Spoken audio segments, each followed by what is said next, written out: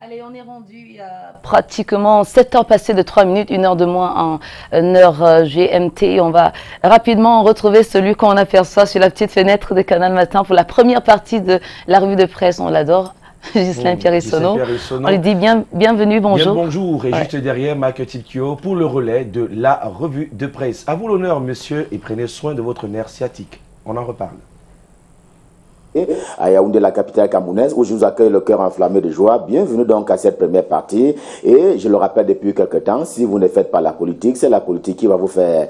Bienvenue donc à Yaoundé pour la première partie, pour dire qu'il y a un ciel sans nuages entre la République du Cameroun et l'Union africaine des radiodiffusions. Cette dernière fait d'ailleurs amende honorable après un faux pas relatif justement à la retransmission du match Cameroun-Rwanda très récemment encore. Son directeur euh, général, par ailleurs camerounais d'origine, eh bien, le directeur général de cette instance continentale conduisait hier une délégation qui a été reçue en audience par le premier ministre chef du gouvernement, Joseph John Bouté, à l'immeuble Étoile. Et l'instance africaine a donc rassuré tout le monde, à savoir la retransmission des chaînes. C'est une compétition que le Cameroun va abriter en 2020, mais également la Coupe d'Afrique des Nations de football édition 2021, que donc la retransmission de ces deux événements va aller avec beaucoup plus de gaieté encore. Il n'y aura donc pas de ciel avec nuages. Il n'y aura plus de bruit autour de la communication entre cette instance africaine et le gouvernement de la République, rapporte en une principale le quotidien camerounais à capitaux publics, Cameroun Tribune, édition de ce mardi en troisième ressort du journal euh, camerounais à capitaux euh, publics. Il faut aller ouvrir le dossier des élections législatives municipales pour le compte du 9 février 2020 à venir. Le gouvernement de la République qui a donc tenu hier ici même à Yaoundé une communication spéciale et qui a dissipé toutes les spéculations relatives notamment à un éventuel report de ces élections. En tout cas, le ministre René Emmanuel Sadi, en charge de la communication, aux côtés de qui se trouvait pour la Tanganji en charge de l'administration territoriale, ont donc dissipé tous les malentendus. Il y aura élection bel et bien sur l'ensemble du territoire camerounais dans les conditions qui sont prévues par la loi. Eh bien, des mesures ont d'ailleurs été prises toutes les mesures, a rassuré le ministre pour la Tanganji à l'occasion de cette communication spéciale, communication certes ordinaire, mais spéciale par l'objet, à savoir les élections à venir en février 2020 au Cameroun. Dans le même temps, a- il a appelé, les membres du gouvernement ont donc appelé les partis politiques justement à jouer leur partition toute leur partition et seulement leur partition. Pas si vite, s'exclame pour sa part le journal L'Estafette qui, est, qui relève du monde intelligible. En tout cas, il voit en cela le journal un double scrutin autour de celui-ci des incertitudes qui planent et qui persistent, notamment en amont. Le journal parle déjà d'une nouvelle crise, mais préélectorale, qui s'annonce dans le MRC, le Mouvement pour la Renaissance du Cameroun, a désisté. Le Social Democratic Front SDF menace de boycotter si les conditions, toutes les conditions sécuritaires ne sont pas garanties, notamment au nord-ouest et au sud-ouest camerounais. Il y a aussi le PCRN, le parti politique de Cabral Libi, qui appelle la réouverture du processus de candidature. En tout cas, il a redit récemment encore, à savoir que les candidats de cette formation politique n'avaient pas eu le temps de concocter leur dossier et de les déposer ainsi en bon état. Ce climat ne se veut donc pas euh, serein pour des élections couplées annoncées en février prochain, conclut justement l'esta- l'estafette en kiosque ce jour. Mais Tribune d'Afrique de Faustin Djikam tout aussi en kiosque ce matin. Et Pour lui, tout cela, oui, tout cela relève simplement de la mauvaise foi. Il corrobore entièrement aux propos du ministre en charge de la communication qui portait ainsi la parole du gouvernement hier ici à Yaoundé à l'occasion de sa mise au point. C'est d'ailleurs le titre qui est choisi par le journal, mise au point. Il était assisté donc du ministre en charge de l'administration territoriale. Il faut que cela soit clair. Le vote aura bel et bien lieu. Clair et clair encore comme l'éditorial de Faustin Jikam qui rappelle quelles ont été les concertations tantôt à l'échelle nationale mais également à l'échelle internationale pour justement conduire le processus électoral dont on sait que le corps électoral a déjà été convoqué. Les Camerounais se rendront aux urnes le 9 février 2020 pour élire leurs conseillers municipaux et aussi les élus de la nation pour ne pas parler des députés. Le journal La Veuve est également en kiosque. Il est d'ailleurs plus tranché sur cette matière face à ce qu'il appelle le chantage de l'opposition politique au Cameroun, le gouvernement ne cédera pas. Ceux qui demandent le report de l'élection n'étaient pas prêts, comme si les élections dont on sait ont été, qu'elles ont été renvoyées, reportées donc deux fois, eh bien, comme si celles-ci les ont finalement euh, surpris. Le gouvernement, quant à lui, est prêt, même au plan sécuritaire, comme l'a d'ailleurs indiqué hier encore Joseph Betty Assomo, ministre délégué à la présidence de la République, chargé de la défense, lui aussi qui était face à la presse, face à, la Yaoundé pour énoncer quelles ont été les mesures prises s'agissant des fêtes de fin d'année, mais également les élections couplées en février 2020 au Cameroun. Le quotidien, le quotidien est également en kiosque. Il ajoute que la réponse du berger à la bergère a été, eh bien, les contraintes se trouvent de tous les côtés côté euh, gouvernement de la République, côté également parti politique, à chacun de jouer son rôle. Il faut éviter la confusion des rôles, justement, estime le journal, car la surenchère ne sera pas acceptée, ainsi que l'indique le quotidien édition de ce jour. Perspective d'Afrique, tout aussi en kiosque, abonde lui aussi dans le même euh, sens.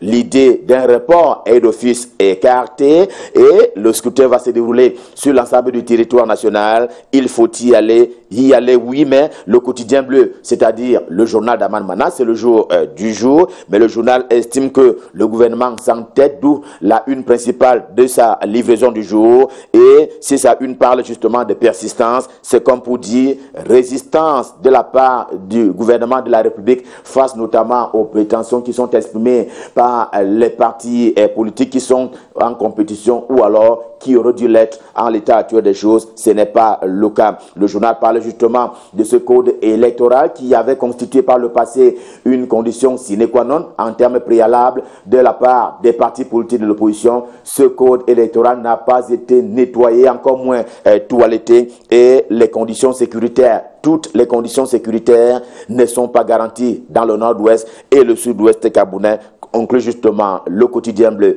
édition de ce mardi, Afrique Performance reste dans le même bain de ces élections couplées en février 2020 au Cameroun pour dire qu'il ne sera peut-être pas là. Oui, il ne sera pas de la mandature à venir éventuellement, et ce ne sera pas l'une, et ce sera, dit le journal, l'une des plus grosses curiosités du RDPC, le Rassemblement démocratique du peuple camerounais, qui réussirait ainsi euh, le pari d'écarter Gaston Koumba au rang de ses candidatures ou de ses candidats investis à l'occasion de ces élections.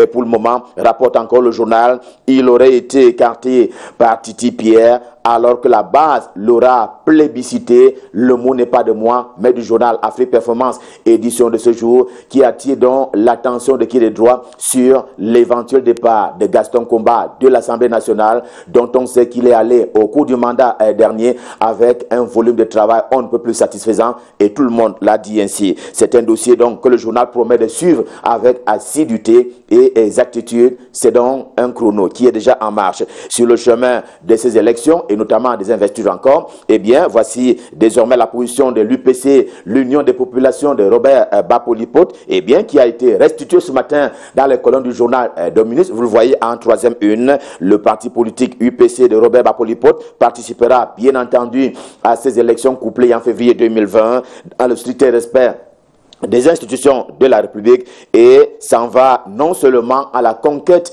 des acquis de 2013, mais aussi s'en va rechercher de nouveaux sièges à l'Assemblée nationale, mais également dans les municipalités. En tout cas, c'est ce que dit Robert Bapolipon, le SG de l'UPC, dans les colonnes du journal Dominus édition de ce jour. Faisons aussi le point au mouvement pour la renaissance du Cameroun, le MRC, avec l'hebdomadaire Le Point Hebdo, tout aussi en kiosque ce matin, qui dit être dans les secrets de Dieu. Selon lui, Maurice Kamto, le professeur Maurice Kamto, est depuis discrédité depuis l'annonce de la non-participation à ces élections couplées par son parti politique, le MRC, jusqu'à l'éclatement de l'affaire dite l'affaire des milliards de francs CFA pour saboter le double scrutin à venir. Paysan Info est aussi en kiosque. Il est d'ailleurs en charge contre le président national du MRC. Eh bien, il dit avoir les dossiers, les dessous du boycott du MRC au sens propre comme au sens figuré, d'où donc la une principale qui vous est servie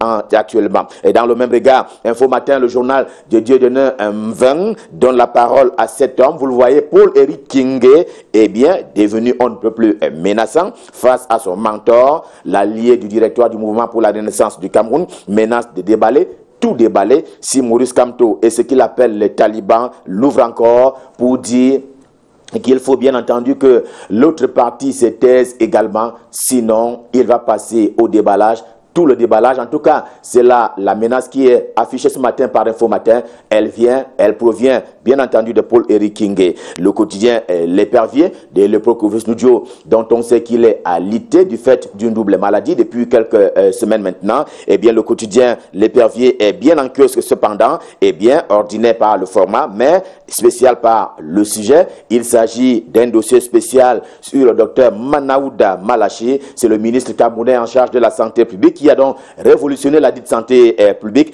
au dit du journal L'épervier, qui a d'ailleurs mis en place un nouveau dispositif pour la gestion des urgences et qui ambitionne d'ailleurs de lancer le, euh, la CSU, c'est-à-dire, bien entendu, cette initiative présidentielle et qui court depuis euh, quelque temps maintenant au Cameroun et qui promet justement de mettre la couverture santé universelle en marche en 2020, entre autres traits de management, qui est donc implémenté au niveau du ministère de la Santé publique par le docteur Manaouda Malaché, le chef de ce département ministériel. Et tout cela est sous-tendu par le vivre ensemble. C'est un peu quelques-uns des éléments qui sont proposés ce matin par le quotidien L'Épervier. Tout un ouvrage contre vents et marées soutient justement l'épervier avec à l'appui des illustrations. Dossier spécial Manaouda Malachi à lire donc dans le quotidien l'épervier, édition de ce matin. C'est proche de la santé euh, publique. Sa presse également en kiosque ce matin entre en scène avec le ministère des Affaires euh, sociales. Lui aussi est sur le terrain de l'autonomisation des personnes handicapées au Cameroun.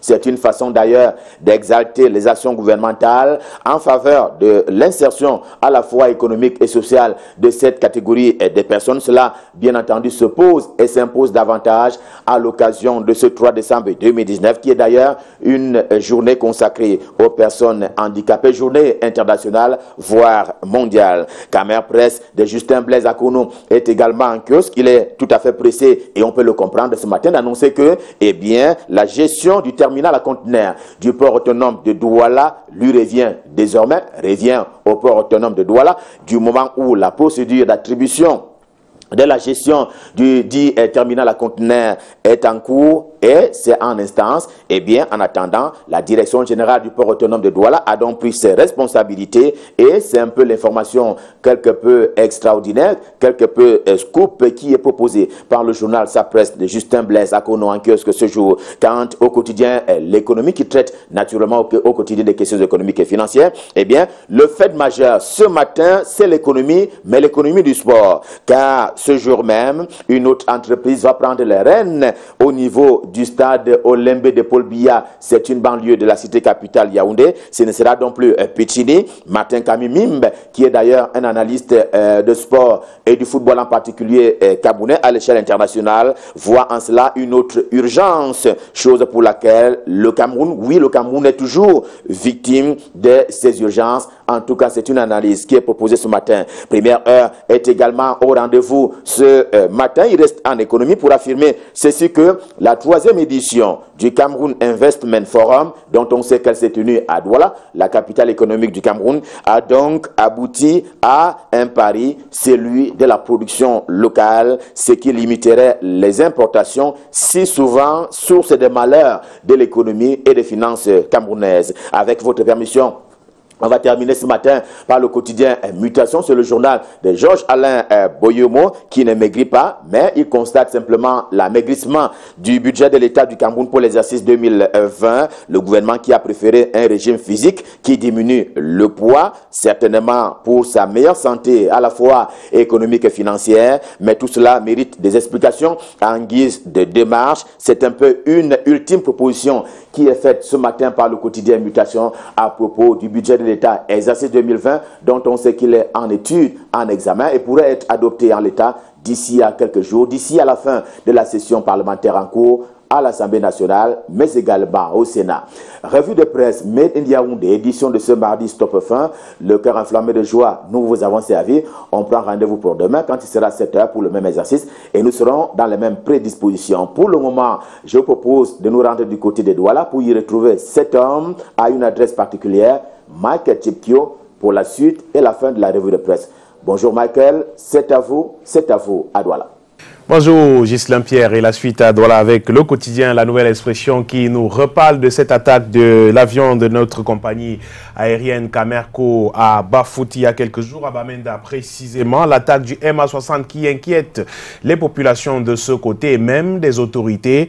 Euh, le journal constate que les tirs sur l'avion de la compagnie aérienne ont eu lieu dans un aéroport où se trouve un camp du bataillon d'intervention d'armes rapide et la base de l'armée de l'air dans cette localité. Mais comment avec ce type de sécurité a-t-on pu atteindre cet avion s'interroge le journal La Nouvelle Expression en kiosque aujourd'hui. Dans ce milieu se trouvent deux grandes bases justement des unités d'élite de l'armée camerounaise. Les inquiétudes montent. Ces actes posés par certains groupes armés démontrent à suffisance le climat délétère à l'approche du double scrutin de février 2020 dans cette partie du pays.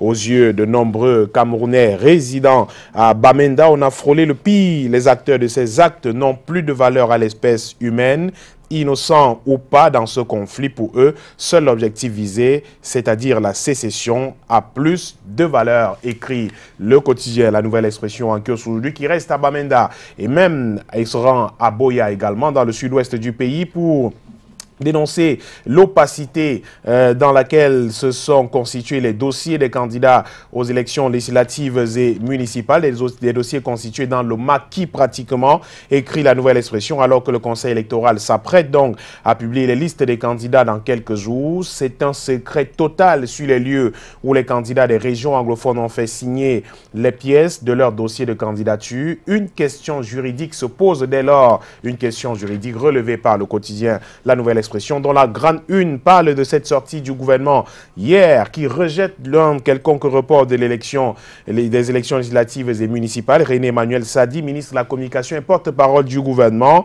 a expliqué hier pourquoi les arguments avancés par l'opinion nationale et internationale ainsi que certains opposants camerounais pour justifier le report des municipales législatives sont irrecevables.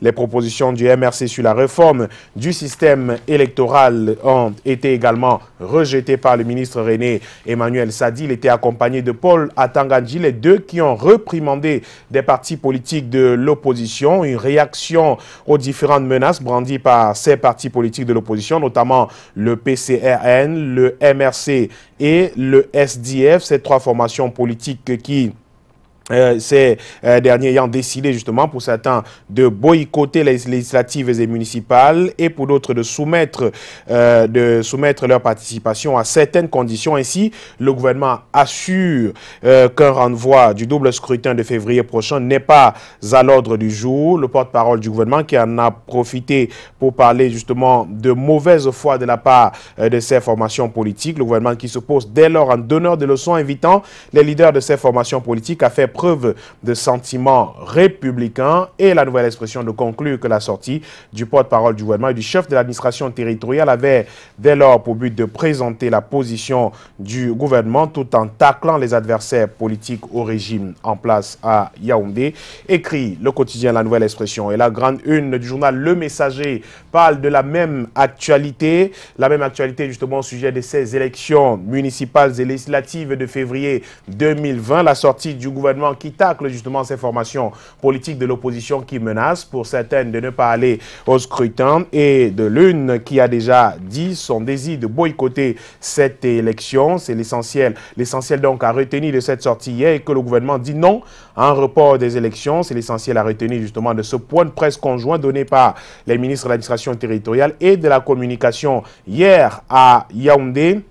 Et le quotidien, le messager de constater que le président du MRC met une fois de plus le gouvernement au travail. La sortie de ces deux membres du gouvernement remet au goût du jour le boom provoqué par la stratégie du MRC qui a décidé, à la grande surprise de tous, de ne pas aller aux élections par la voix de son leader il y a quelques jours seulement, en rappelant que les précédentes prorogations successives des élections ont tenu compte du contexte sociopolitique partant du sentiment de la classe politique nationale au sujet notamment de la situation sécuritaire dans les régions du nord-ouest et du sud-ouest. L'ancien euh, ministre chargé des missions à la présidence de la République souligne que le chef de l'État sera prescrit toutes les mesures nécessaires pour garantir le bon déroulement des élections dans ces régions du nord-ouest et du sud-ouest du pays qui font, euh, qui, euh, font face en ce moment à une insécurité grandissante, écrit le journal Le Messager en kiosque ce jour. La même actualité encore avec le quotidien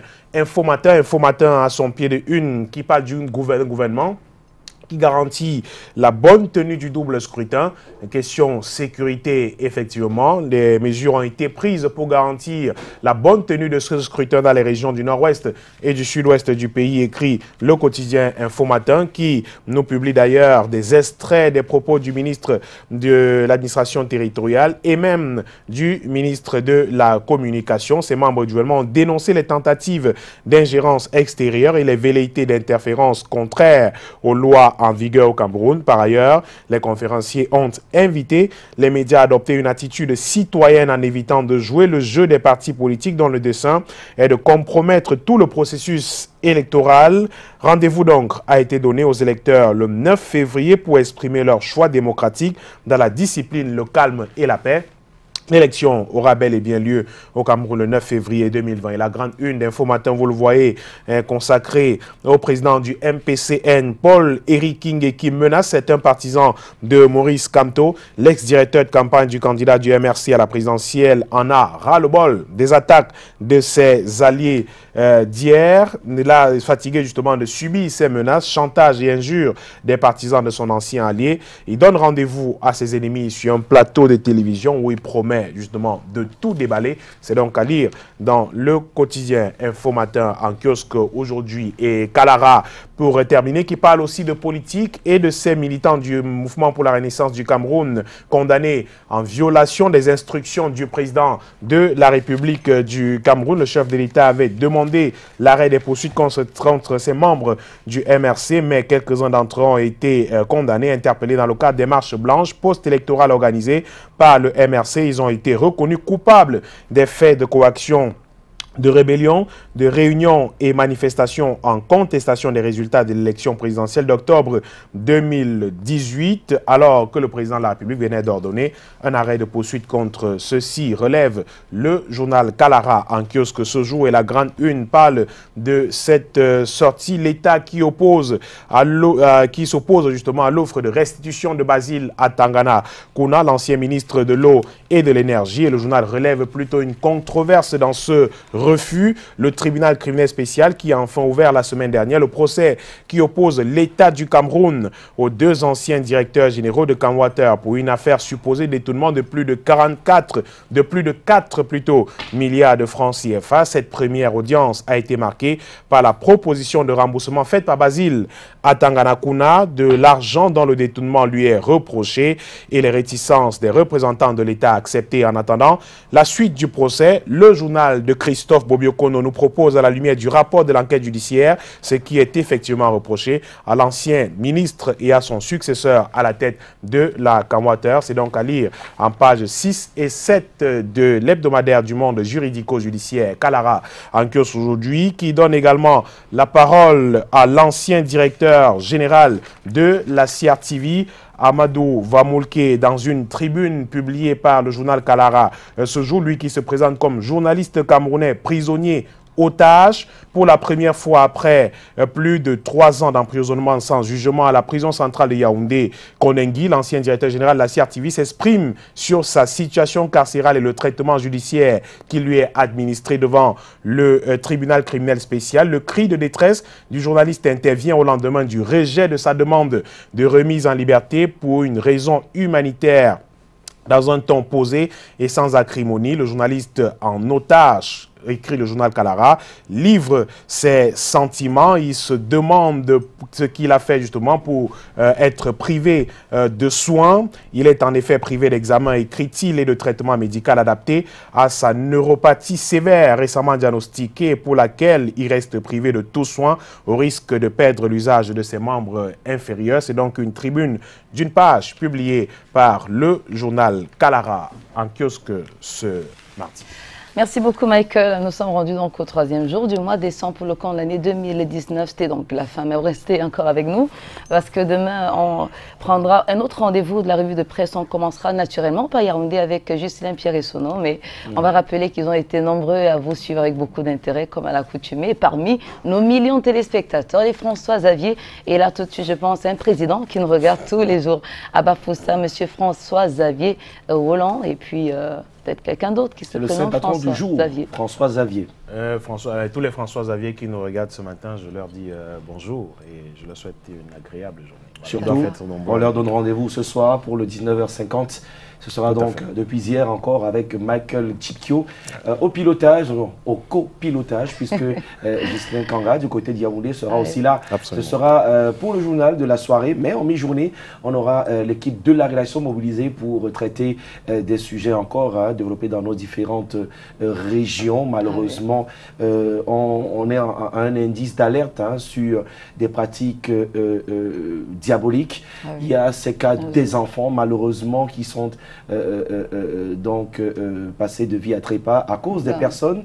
euh, on ne sait comment, on ne sait pourquoi. Conditions moi, je voudrais. Patricia, avec euh, tous ceux qui nous regardent, surtout les parents, Oui. les parents, ne démissionnons pas de notre vigilance. Même l'enfant qu'on accompagne à l'école, j'ai vu des personnes qui arrivent à l'école et à 100 mètres, ils laissent l'enfant aller seul. Non, Ah oui. aller jusqu'au bout. On ne peut pas blaguer avec cette période très délicate et euh, malheureusement, il faudrait que les, euh, les criminels soient punis euh, sévèrement. Et d'ailleurs, hein, nous, on va euh, adresser nos condoléances à l'endroit des familles euh, qui ont perdu les enfants et à Dizanguay. Euh, et ici à Douala, c'est a fait les choux gras de la presse Ah, hier et même clair. du journal de Canada International. Ah oui, c'est des affaires extrêmement tristes, vous Ah. l'avez euh, relevé, Aimé, qui dépassent la compréhension parfois. On s'interroge, on se demande ce qui se passe exactement dans les têtes des, des- des- des humains. C'est-à-dire que vous retrouvez trois dépouilles d'enfants dans un domicile gardé. Euh, pour certains corps, depuis plusieurs mois, vous vous demandez comment est-ce qu'on arrive à, à- à- à faire cela. Et à Dizanguay, vous l'avez dit également, Tout le premier cas, c'est ici au quartier Commando à, à, à Douala. C'est quelque chose qui dépasse la compréhension parfois. Jusqu'ici, il y a des enquêtes qui sont ouvertes pour comprendre justement quels peuvent être les mobiles euh, de ces actes posés. fait. Certains parlent peut-être de trafic d'ossements humains derrière et bien d'autres, mais jusqu'ici, on ne peut dire exactement euh, ce est. qui s'est passé, mais quoi qu'il en soit, c'est des situations extrêmement désagréables. Et c'est le lieu, vous l'avez dit tout à l'heure, de rappeler encore ou alors de La vigilance. réveiller la vigilance de ces parents qui doivent justement prendre soin de leurs enfants, euh, être très vigilants, regardant, parce qu'on s'achemine vers une période extrêmement délicate, vous Ah, l'avez dit tout à l'heure, ces périodes de fête de fin d'année et bien d'autres qui sont parfois des moments difficiles où on assiste à des choses parfois incroyables. Je crois que c'est le lieu justement pour ces parents à et bien d'autres de bien s'occuper de leurs enfants, d'être vigilants, de regarder, d'observer tous les déplacements des enfants à la sortie des classes. Effectivement, c'est parfois en ces moments-là que ça fait. se passe, des enfants qui sont enlevés. Au moment où nous parlons, il y a trois enfants qui ont été enlevés à Yaoundé. Il y a pratiquement trois semaines aujourd'hui, mais dont on n'a jamais retrouvé les traces jusqu'à ce jour, malgré la battue qui a été lancée par nos forces de défense, par nos forces de maintien de l'ordre et bien d'autres. La famille, les familles sont éplorées dans la détresse ah oui, totale. ah oui. Je crois que c'est des moments assez difficiles et délicats et les parents doivent prendre leurs responsabilités, Veiller aux enfants pour qu'on n'assiste plus à ce type de crimes et autres qu'on voit depuis Ah ben, un moment. clair. C'est vraiment... Au lieu d'attendre le pire pour se mettre à pleurer, il vaut mieux prévenir, comme on le dit d'ailleurs très souvent, mieux vaut prévenir que guérir, redoubler de vigilance. Ça, c'est à l'endroit de tous les parents qui nous regardent ce matin. Je pense qu'un être humain normalement constitué ne pourrait, ne saurait poser un acte aussi, euh, aussi tragique. Ben, c'est- naturellement, c'est des personnes qui sont seulement humaines d'apparence. Au fond, c'est des bouts de démons. Ouais, c'est clair. Ouais, quoi. Dommage. Ouais, c'est clair. Allez, merci encore, Chikyo. Merci, Merci, à, à Gisèle Pierre et Sono qui vous a précédé pour la revue de presse et les équipes combinées de Douala et de Yaoundé pour euh, vous accompagner jusqu'à 9h. On aura euh, naturellement d'autres euh, belles rencontres dans Canal Matin et je passerai une à, à notre très cher Patrick Nanda euh, de, de XLK Service. Tout Euh, fait. XLK XLK Center. Center, voilà, j'y arrive. De toute façon, vous ferez un tour, déposer votre véhicule, hein, question de le remettre à jour. Oui. Et ce sera gratuit parce que c'est notre partenaire de Canada International. Et on compte vous y bonjour vous entraîner. et le personnel. On compte vous y entraîner de la plus belle des manières en musique, musique qui, vous le savez, est donc vectrice de la bonne humeur, panacée Mmh. de l'anxiété. Aujourd'hui, dans le couloir, ma chanson du cœur et Kex qui a chanté ou un homme. C'est ça que je prononce bien. Ça doit certainement vous dire des choses. Donc, euh, il est en challenge aux côtés d'Ama Pierrot, le général Ama Pierrot, le titre de la chanson Ingratitude. Laquelle vous parle le plus? Euh, Je vais faire le choix d'Ama Pierrot, Ingratitude, euh, l'attitude de, certains d'entre nous qui sont parfois. voilà, le titre de la chanson dit tout, hein, ingratitude et autres. Ah et je choisis surtout parce que l'autre titre m'échappe un tout petit peu et bon, je vais faire le choix de. Bon, vous pourrez quand même corriger votre choix sur la page Facebook de Canal Matin. Le temps pour nous de publier l'information. Vous aurez les extraits de ces deux chansons dans quelques instants. Le temps pour nous de faire un clin d'œil à nos partenaires publicitaires. Hein. et puis, on va se retrouver pour la suite de Canal Matin. Clin d'œil à, Marie-Paul MP Matouké, Madame Matouké, euh, qui nous regarde juste à côté, tous ses collègues de la Standard Charter Bank. D'abord la pub et derrière, on y revient.